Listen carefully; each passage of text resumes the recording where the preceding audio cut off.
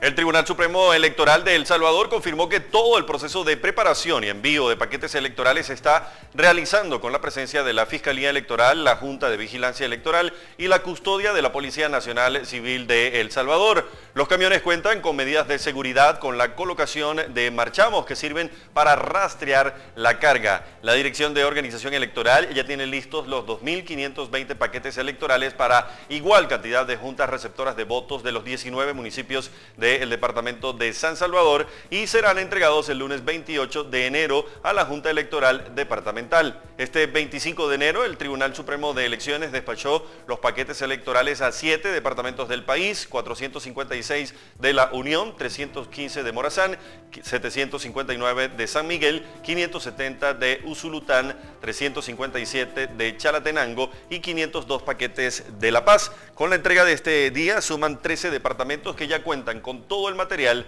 necesario.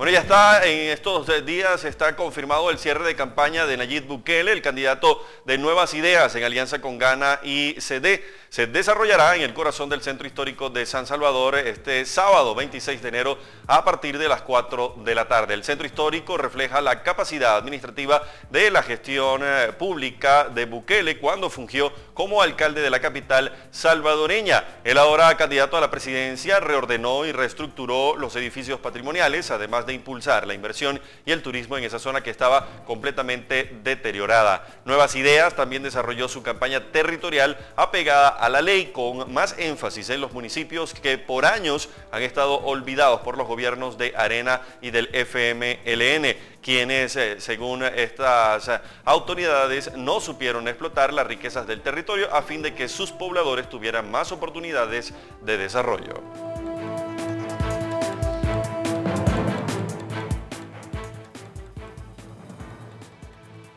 Y el candidato presidencial del FMLN, Hugo Martínez, participó en la discusión sobre migración irregular con representantes de la Alianza Nacional del TPS. Hugo Martínez declaró que los flujos migratorios solo pueden cambiar si los gobiernos invierten en la gente y anunció que hay que llevar las oportunidades a los municipios. Por eso proponen los polos de desarrollo para aprovechar las potencialidades de los territorios y ofrecer oportunidades a nivel local.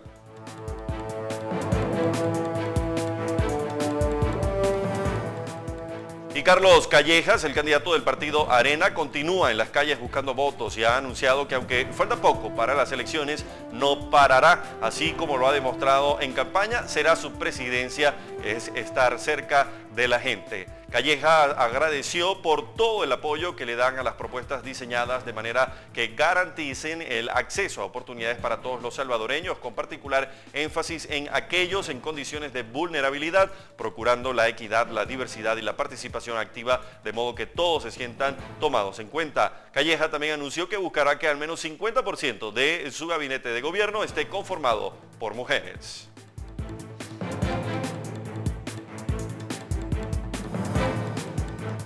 Y el organismo colegiado del Tribunal Supremo de Elecciones de El Salvador se reunió con representantes de la misión de observación electoral de la Unión Europea, encabezado por el jefe Carlos Iturgaiz, con el propósito de presentar a una parte de la misión y dar seguimiento a las actividades previas a la elección. ESE recibe misión de observación de Unión Europea. El organismo colegiado del TCE se reunió este 22 de enero con representantes de la misión de observación electoral de la Unión Europea, encabezada por el jefe Carlos Iturgay, con el propósito de presentar a una parte de la misión y dar seguimiento a las actividades previas a la elección. El magistrado presidente Dr. Julio Olivo Granadino dijo que la misión de la Unión Europea ya viene a instalarse y que ha estado presta a participar en algunas actividades y se ha compartido información sobre las reglas para realizar el escrutinio final, entre otros temas.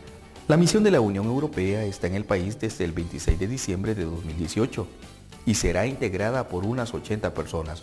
Una parte de ella ya fue desplegada en los 14 departamentos donde ha establecido contacto con las juntas electorales departamentales y juntas electorales municipales.